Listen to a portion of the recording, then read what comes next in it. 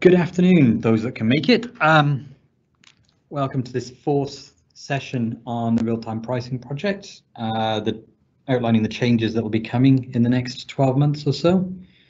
Uh, in this session, we'll be talking about the scarcity pricing principles. Uh, this is a almost a part one of two. We'll have a second session in four to six weeks run by Transpower to talk about the implementation of scarcity pricing and how it will impact schedules and what you'll see in the market. So as a rem reminder for anybody who does join, we'll be keeping an eye on the Q&A. There'll be points through the presentation that will stop and answer questions.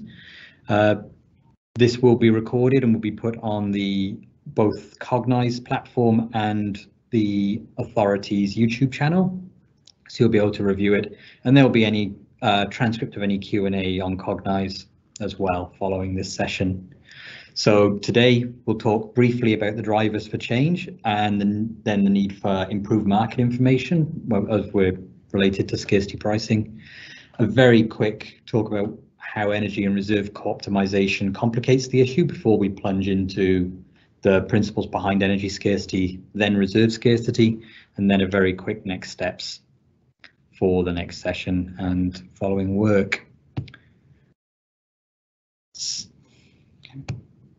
So, as we've said through this uh, project, the idea behind real-time pricing is that spot prices must be actionable. We can't have ex post processes uh, changing the results after the fact. We want people to be able to react to the prices they see and have confidence that they are reacting to a true price parallel with this energy scarcity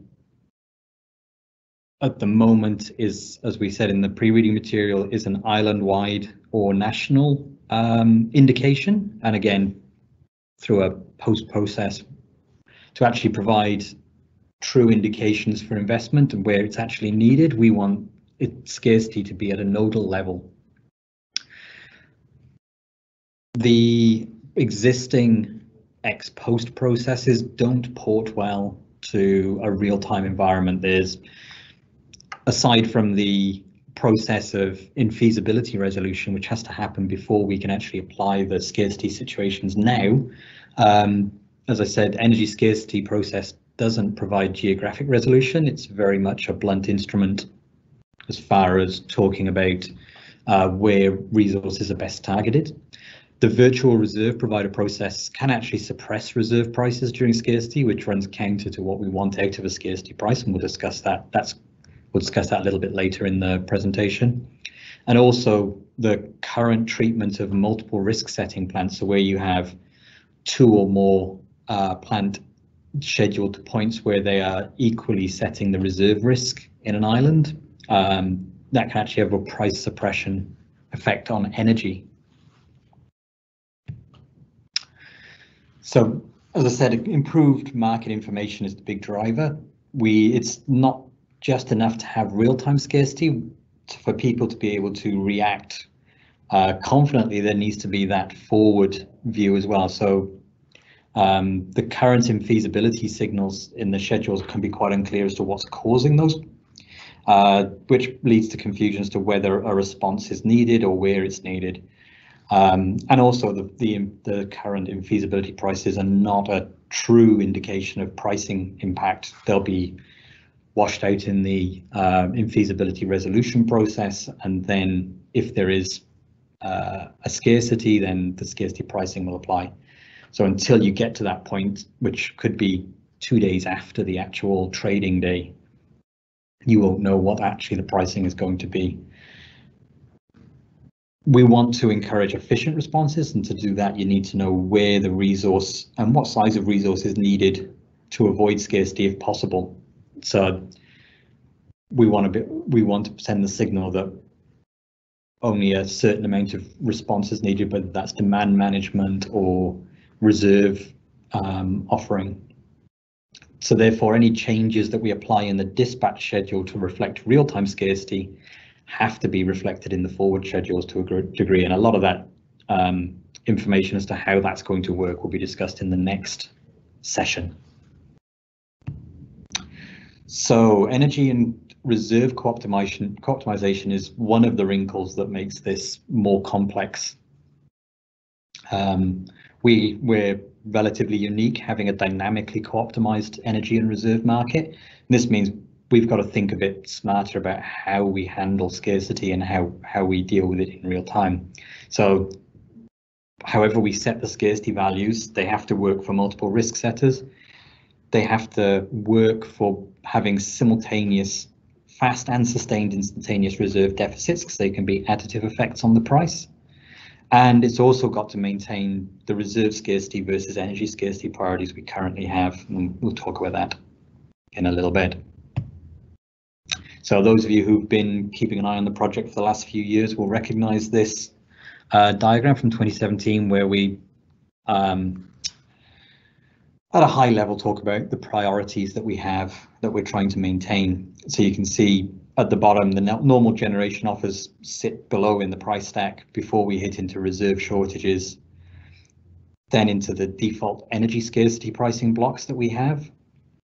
And this is for load that's forecast currently by the system operator's load forecast tool, any demand bids, any dispatchable demand bids uh, that are bid in will remain as um, pricing blocks in their own right. Then there's the potential for higher price generation offers and higher price dispatchable demand bids to further set the price to indicate um, willingness to pay for resources. Now, this is the tricky one, actually maintaining the reserve shortage CVPs in and maintaining that priority of reserve shortage ahead of energy uh, scarcity. Um, as I say, conceptually, we've kept that there. And as we discussed in the 2019 consultation, which was in the pre-reading material, we've managed to keep that and we've found a way, we think, of maintaining those priorities with reasonable prices. And there's still some detail to work through. So those again, you'll remember this diagram of energy scarcity where we have the energy stack and the blue line represents the demand forecast and bids that currently set the price with the scarcity tranches illustrated in the red line above. So under normal operation, nothing really changes. The intersection of demand sets the price, but we have these 5, 10 and 15%, 5, 15 and 80%, sorry, blocks at 5, uh, 10, 15 and $20,000. The remaining uh, so we've got a brief explanation there of where those values came from, and they're based on the current cap and floor settings in the market. So how does this work when supply doesn't meet demand? As you can see here, the supply curve doesn't quite meet the demand line. So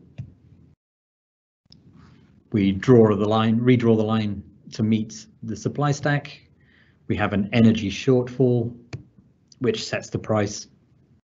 At this case, in the first energy shortage tranche at $10,000. And we say an energy shortfall, this could be an indication of directed demand management, but system operator has a number of means of managing this shortfall in operationally, and that'll be discussed in a later session. So reserve scarcity. Currently, we the market system prioritizes some reserve scarcity ahead of any demand shedding. And that's we want to preserve supply where possible, and having the the risk of loss of supply is less onerous on participants, on uh, consumers. This does mean we have to set the reserve scarcity values to ensure that our grid security objectives are met. So some contingent event scarcity is acceptable ahead of demand shedding.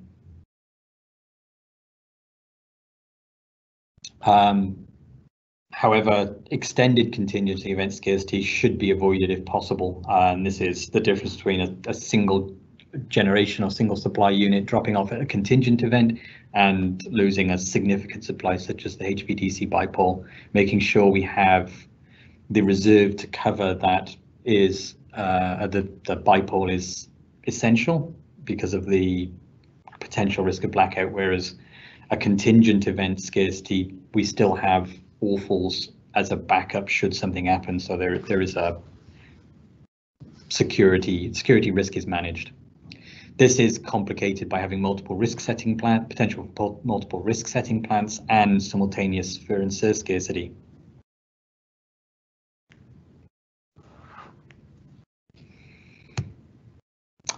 So this is the point where I was going to take some questions. So uh, preliminary assessment is that your proposed approach would address the issues underlying the disputes in ERCOT, but might be a good cross-check for yourself. Yes, um, we have been keeping an eye on what happened in ERCOT, and one uh, big difference from our proposal to the way that ERCOT implements scarcity is that once ERCOT had operationally initiated rolling outages, so that planned response, they continued applying scarcity pricing. With the New Zealand system, we're maintaining the current check on that, where if there's a planned uh, response, such as rolling outages, then scarcity pricing will no longer apply. We'll move back to uh, meeting the the demand with the available supply and prices settling probably at an elevated, but not necessarily at scarcity prices.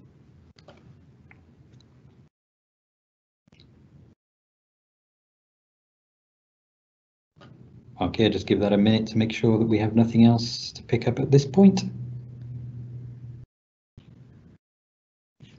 Okay, so we'll move on to the next section.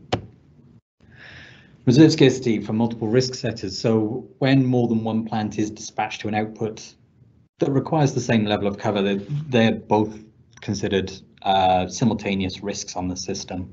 Uh, with the current scarcity settings, the reserve would be undervalued when we have more than one risk setting plant. So only a fraction of the reserve price adds to the energy price for the risk setting plant. So whatever the marginal reserve price would be, only half of it applies to the energy price. For, for two risk setters, for three risk setters, only a third.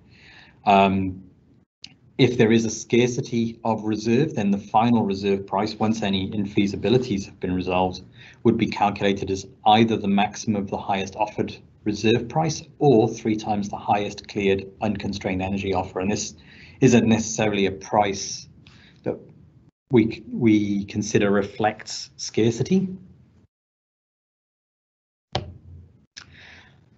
Under real-time pricing, we've reversed the value proposition. So we're saying how much generation will be made available by one megawatt of reserve rather than how much um, reserve is required to find the next megawatt of energy.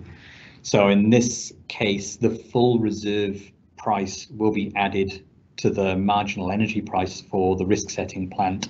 This ensures that highly priced energy offers are more likely to be dispatched ahead of reserve scarcity um, and it also reflects the value back to the reserve providers of the reserve. Um,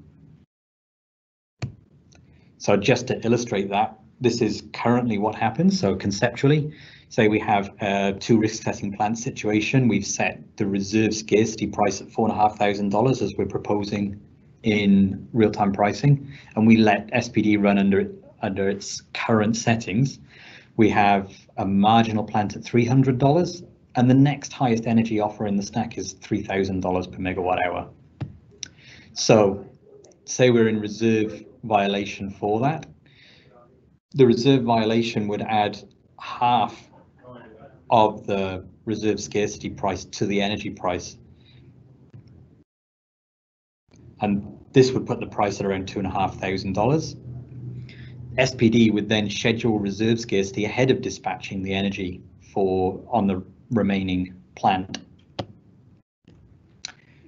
If we move to RTP and the way we're proposing it, we use the same assumptions.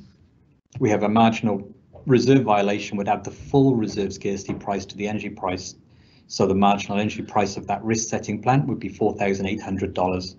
This places it well above the next energy offer, so SPD would make the decision all things being equal, to dispatch that energy instead of going into reserve deficit. So that way we maintain the principles we want of dispatching energy ahead of reserves violation. Uh, whilst there energy, is energy in the stack, it's more likely that that will be dispatched ahead of reserve violations. Are there any questions there? I'll just give a couple of minutes for the presentation lag to catch up to make sure we have nothing else.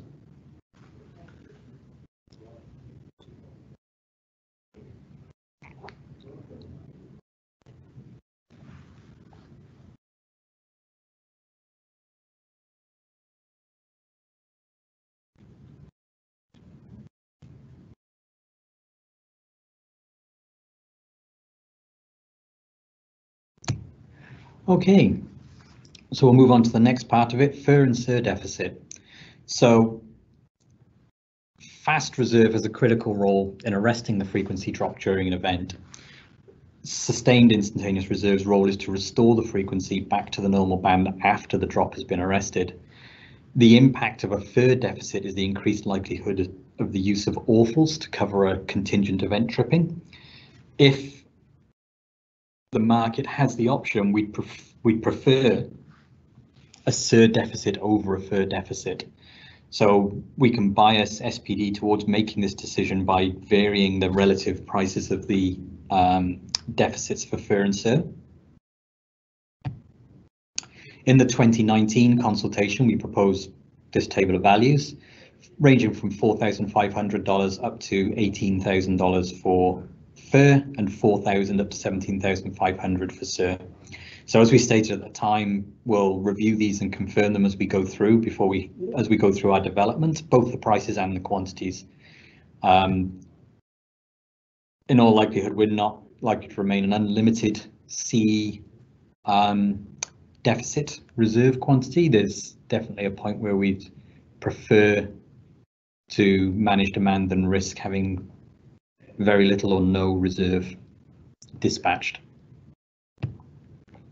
Just for those graphically minded, here's a representation of how the energy um, deficit values in red kind of match up against the reserve deficit values. And you can see we've reflected the the operational requirement of reserve requirement, a reserve deficit ahead of energy deficit by placing those first three reserve tranches below the first energy uh, deficit tranche.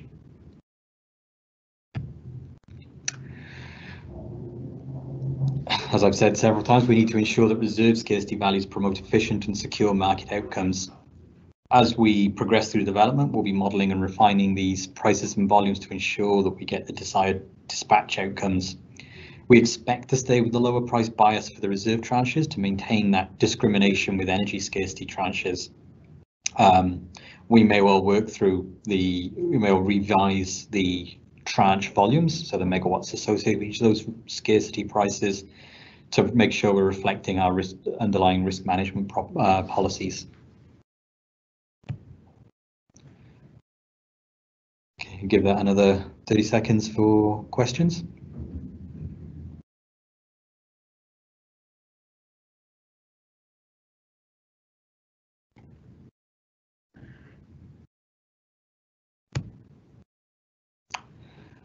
Okay, we haven't finalized everything yet. We've uh, been working through the contingent values as they're, as they're most pressing for ensuring that the dispatch solution works we also have to work on an ECE scarcity value. Currently, um, the ECE reserve scarcity uh, CVP constraint violation price in SPD is set well above the level for uh, generation deficit, so lack of generation to supply. We can we acknowledge going in, go allow go we allow the system to go into a CE deficit acknowledging that AUFLS are available to prevent cascade failure should there be a significant um, CE event. Uh, a shortage of reserve for an ECE risk has no such backup. If there's not enough AUFLS to and reserve to cover a HVDC, then a HVDC tripping, then there's nothing to catch the system should an event happen. Um, so we're working through how we set values to reflect that that are um, valid for setting prices whilst maintaining the security uh, requirements of the system. So in the next session, system operator will discuss the practical implementation of these values and how you will see them reflected in the market schedules. And we aim to review and confirm the scarcity values for the final code consultation, which we're aiming currently aiming for early 2022. So thank you for your time. Uh, if you have any further questions and feedback, please do email us. Um, and apologies to those who are viewing this in recording. We'll work through our technical difficulties with Teams ready for the next session. Thank you very much. Are there any further questions? I'll just give it a couple of minutes before we sign off.